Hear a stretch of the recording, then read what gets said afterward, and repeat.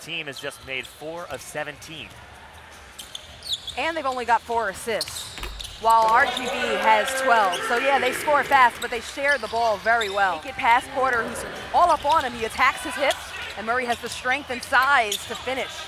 Porter another three, the rainbow from the far side as Porter trying to get Reno going. Three for Rio Grande. Tajuan Porter the alley-oop to Rashad James, and ooh is right, Roz. Tajuan Porter.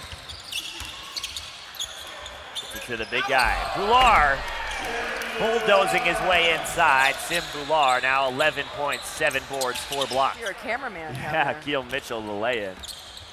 It's a long way to fall for Sim Bhullar as Tajuan Porter the three-pointer, and every time Reno has need a spark, needed a spark from three tonight, it's been Tajuan Porter who's hit three of them. Takes advantage of the speed differential. And Chris Johnson, a three and D guy, getting very popular in the NBA. Porter with the three, he responds.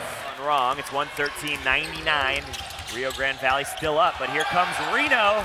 Airs the three. Three three-pointers for Reno in the last minute, and they're within 11. Ray Murray. A lot of Seems missed like- opportunities. Yeah, it seems like the passes he's been making, there should be way more. Porter, step back, Jay.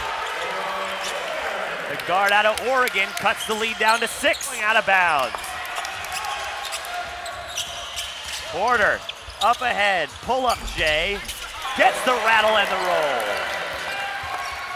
Final day of game of the day here on a Sunday in Santa Cruz, California.